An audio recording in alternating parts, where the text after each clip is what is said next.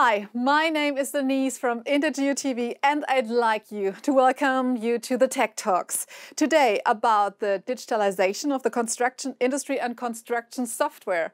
And of course, with me are two experts, two guests virtually in the Intergeo TV studio. And I'd like to welcome Katy, Catherine Broder and Christian Luttenberger from Hexagon. Hi, hello. Hi. Hello. So everybody is connected and can hear and see me. This is perfect. So I'd like to introduce you. Catherine Broder, or Katy, is Vice President Building Solutions at Hexagon Geosystems. And Christian Luttenberger is Vice President um, Hexagon Geosystems for Heavy Construction. And uh, yeah, we have a challenging global situation. The pandemic um, is really um, accelerating the digitalization of many, many industries and of course also the construction industry. So when we look at the situation, so what is the current state of this industry?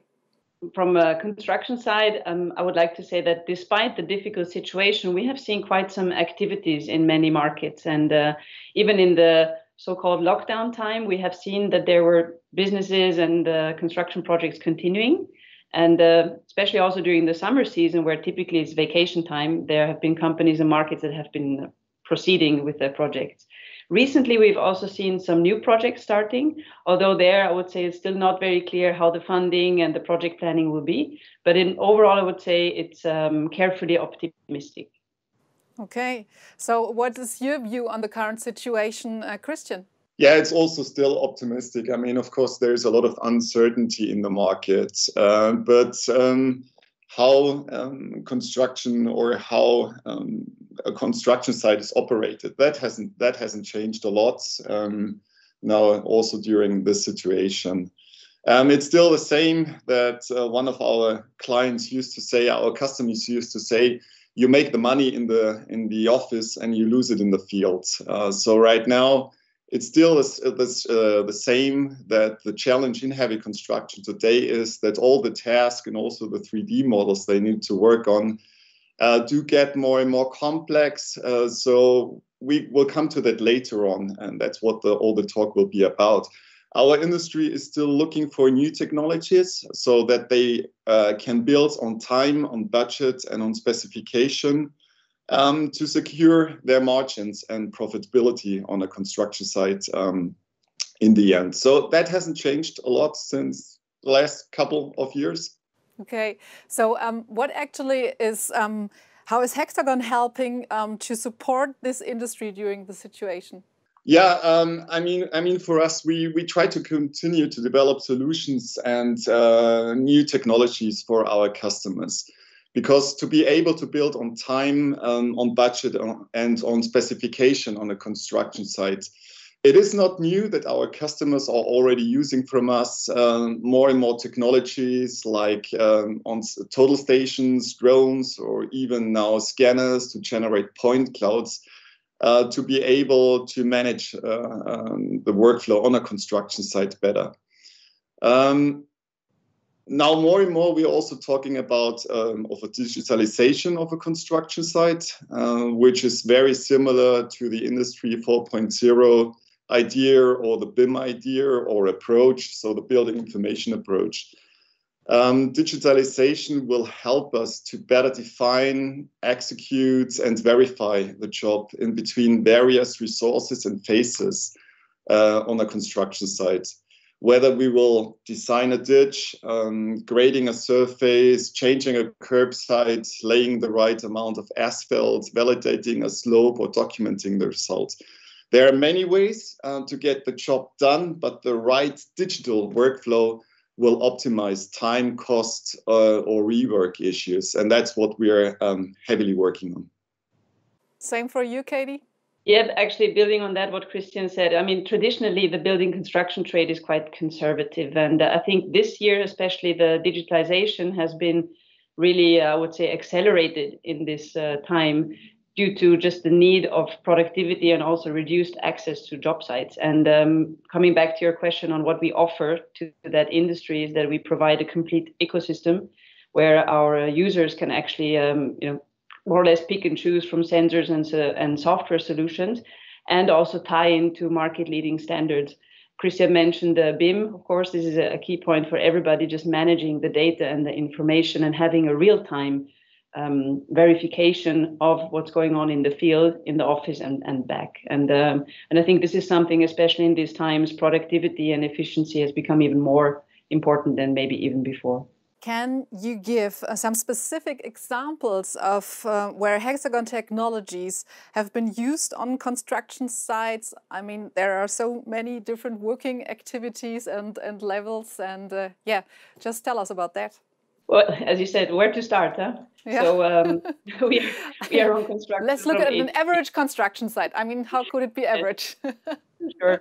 Um, I think building structures, you know, be it now concrete or woodwork or steel framing, um, everybody has and every everywhere there's a need for accuracy and uh, to make sure that the data is reliable and to be able to take decisions where we can be most effective. So this means in the field or in the office. And I think there exactly when we're looking at our uh, Leica iCON portfolio that we have, which is our complete suite for the building construction industry, to have the possibility of sensors like total stations and the software suite to that to be able to on site do the layouting, verification, transfer that back to the office, actually throughout the entire um, workflow of a building. And I think one part to say there, not just in the design, engineering, and construction phase, but actually also throughout the life cycle of a building, which also goes into the operation maintenance phase as well. Christian, you have to add anything? Yeah, I um, I give you one example. I can remember a very nice project we recently had in Norway. It was a 43 kilometer expansion of the E6 motorway in Norway. The contractor has been Hæhre, one of our biggest machine control customer, with uh, more than 300 construction machines equipped with um, our machine control solutions. The majority of these machines are excavators, drillers for blasting, and soil compactors. And they are also using a lot of our survey equipment, as Katy mentioned before, for stakeout, volume measurements, and, for instance, asphalt checks. So on the job site, the excavators would dig down to the rocky surface, and they do, and they do have a lot of um, um, rocks in Norway. Then following the digitally defined drilling pattern, drill rigs are then used to drill holes into the rock for the blasting. Um, the drilling patterns are automatically sent via our cloud solution to the machine, so that saves them a lot of time. So from data from the office uh, to the field, um, and then the machine control solution would then guide the drill rig to the exact location where the drilling needs to take place. So, for instance, no surveyor on site is needed to mark the location like it used to be in the past. Um, and by that, that made the project and the machine itself about 50% more pro, uh, productive, and mistakes can be avoided. And to, to finalize, to uh, describe the project a little bit, after the blasting, the debris rock is used as road fill so the soil compactors and excavators equipped with our machine control solution are used then for building in the material and for compacting or for the compaction of the ground to avoid that the grouse, uh, ground would freeze then in the winter. Um, now, the nice thing in this project has also been that the work process the machine has done was automatically logged by our software and the data was sent back to the office. So, for instance, the information um, or the project manager in the office can not only immediately see the progress uh, on the site, but also use can use the data as as-built quality documentation, which then can be sent to the building authority to prove that it has been built on specification. So that's just one example of a typical road project in Norway, but it has been a very nice project where our technology could help a lot uh, to be on time, on specification, on a budget for the project. I see Katy has also another idea where the technology can solve more problems. Give us also some practical insights, as just Christian did. This was very interesting. Yes, sure. And I think one part to just also uh, liaise to what Christian said is that we are enabling uh, non-surveyors on job sites to do the tasks.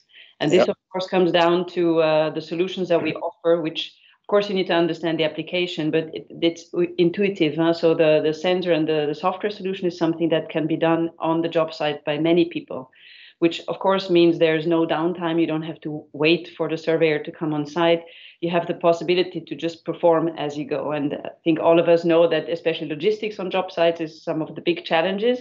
Um, not really knowing when concrete pouring will be finished and um, you know the material is there or the teams are delayed and this gives a lot of flexibility, of course. I think, especially when we're talking um, concrete pouring, because that's something which is critical. Um, it has to happen when it's planned, and uh, and you can really you know generate a lot of waste or delays if you cannot perform the tasks. And I think in that sense, really, this is um, coming back to the ecosystem that we provide. It's kind of a more of a holistic solution that we can provide to the job site with many different stakeholders that can tie into a workflow. Do you see um, when we have a close look into the future, I mean, you just mentioned so many examples for the digitalization, for more and more data, machine software at the construction site. When we look at the future, um, so where is the construction industry going? You just mentioned models with BIM and connectivity and more data. Um, yeah, where's the future going in the construction industry? I think to there's not a simple answer to that, I would say, huh? because it depends also a little bit in which markets we are looking. Some are more advanced than others. But I think in general, um, generating data is something that has been happening already since I would say decades. And the, the, the, the key point from the building industry side is clearly to make that data digestible for the users. And this is, I think, is one of the, the key parts going forward where more people want to access data, where maybe before they were, I would say, too hesitant because of you know point clouds and just overwhelmed which now there's really an openness of the construction people to have access and to take the decisions themselves, which comes back to us as a um, solution provider to make sure that we can tailor the information as needed, which of course is something which um, is not simple to do. Uh, it requires an absolute understanding of the workflow. So to, to answer in short, the applications will be the same. Um, I think more users will become more digital and have also the requirements to get access to data and to generate data and to make sure that uh, the data is accurate and reliable so that decisions can be taken. I think there's going to be a productivity gain in the industry that we have not seen before. Yeah, this is what you want to underline, Christian, or if anything else? Yeah, yeah, I totally agree what Kate, uh, Katy just said. And uh, thinking about the future on a construction site, of course, we we could um, talk about that for hours. Um, but I think uh, really, as a to me, uh, for the heavy construction industry, as a summary, I think uh, we will have three main technology drivers, which we already do have in place today. But I think they will develop further and um, will help the construction industry um, to become more productive. One is, as we mentioned before, is the digitalization. That means more concretely, as said before, that sensors do capture exact location data, that software process- processes the data to become, as Katy said, meaningful and data flows that connect the right people, machines, and objects. But because at the end of the day, what will be more and more important that, for instance, the site engineer, the project manager can, well, you could say even in real time, can see what has been done um, on, on, on site and what needs to be done next. Um, another level is then, um, or we call it the next step of the of machine control or machine automation. That means that the operators will have less and less functions to do and the construction machine itself will get more and more autonomous. And maybe in the future we, will, we already do see it in mining today but even on the construction sites um, there might be no operator anymore and the on the machines and some machines will be completely autonomous. And to me a third driver is the generation of point clouds so that the physical reality on site becomes um, a so-called we call it digital twin um, to be able to visualize uh, the project progress um, in real time. But of course that the construction industry is accepting and adopting these technologies as katy said before our solutions need to be simple or easy to use they need to be um, compatible to the existing ecosystems they're having and um, our solution needs to be a true fact of simplicity so that also non-surveyors or generalists can work with our solution. The impact for the industry will be definitely that they are more profitable. It will be will be good for the industry because that would all mean less hours, better quality on site, less resources needed, and lower risk on the construction site. Um, well, I'm part of the Intergeo communication team, and of course, we only have a few weeks, I mean, even more days to go until Intergeo 2020 will start in a purely digital edition. And yeah, let's let's use the chance also to make some visitors to uh, Hexagon curious what they can expect for the construction um, software, what will you present there um, at Intergeo 2020? Um, can you give us a short description or insight? So you would like a sneak preview huh, from that? Okay. Well, from from the construction software side, clearly to show how we can um, stitch together uh, sensors that we already have and had, you know, since many years in the in the organization, with a software workflow that is really very tailored to the user group, as Christian mentioned before, huh? understanding kind of the simplicity and um, the ability also to enable more people to work and use the data that is provided and to be able to take decisions. I think this coupled with uh, visualization, which comes back to the users, we're all humans, so we we think in graphics or in pictures, and this is clearly something where we will be able to show really uh, examples and the workflows how we can already today enable with the offerings that we have. Christian, you also want to say something to the visitors of Intergeo 2020 and the Hexagon booth, the digital booth, and the presentations and lectures. Yeah, Katy. Katy has just uh, she has just said it. Uh, there is nothing more to add from my side. It's really uh, what we are focusing on because we understand uh, the workflow on a construction site. Now, what we are trying to do is to, to bring everything together, to make it easy to send data from the office to the field, data from the field back to the office, so that everyone involved in the construction process is always up to date, that it, we make it easy for um, the foreman, for the site engineer, for the project manager to analyze the data, to see what happens um, yeah, at the end to become more productive um, on site. Thank you very much. And for all of you, meet Hexagon Live at Intergeo Digital 2020. And dear Katy, dear Christian, thank you very much for this interesting tech talk about the construction industry. And um, yeah, I hope to see you from the 13th to the 15th of October, and you will join us too, of course. Well, thank you. Thank you. Bye.